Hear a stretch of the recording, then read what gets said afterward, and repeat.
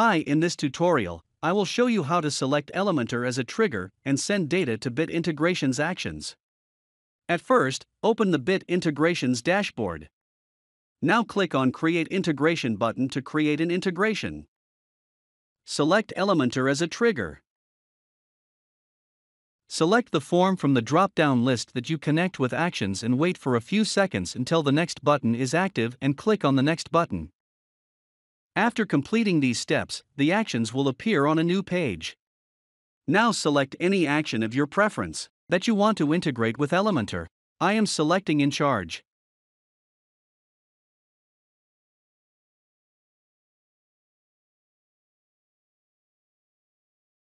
Here you can set the integration name of your preference.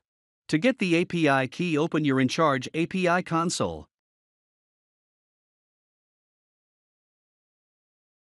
Now copy the API key and paste it into the integration setting. Now click on the Authorize button after successfully authorizing and click on the Next button.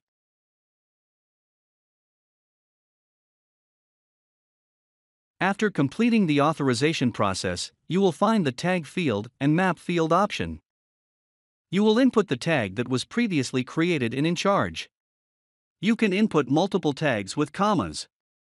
You have to map all the necessary fields with the related Encharge field. By default, email field of Encharge will be available. You can also send custom values by mapping your required field. You can now map the form fields with the necessary Encharge fields.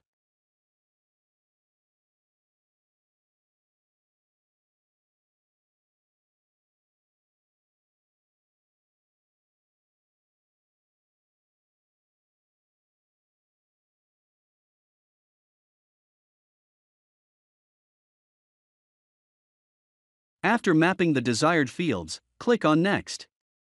To save the integration process, click on Finish and Save.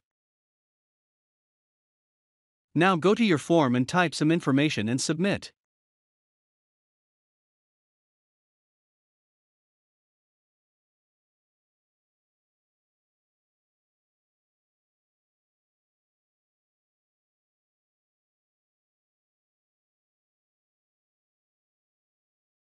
After submitting the form, Go to Integration Timeline, where you can check integration success or error status.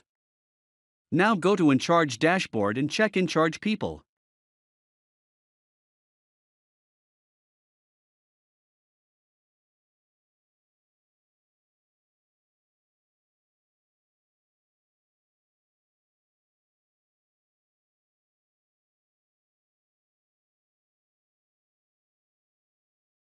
Thanks for watching.